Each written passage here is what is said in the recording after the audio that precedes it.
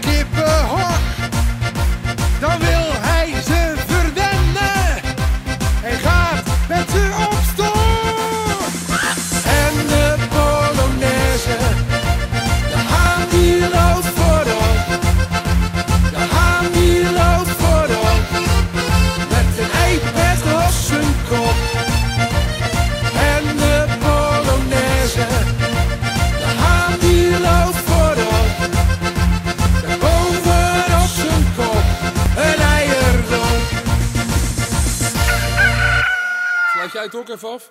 Dan gaan we. Ja, dat is goed, want ik heb wel zin in een uh, uitsmijter.